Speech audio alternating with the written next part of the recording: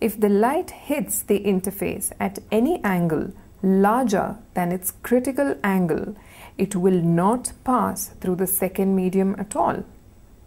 Instead, all of it will be reflected back into the first medium, a process known as total internal reflection.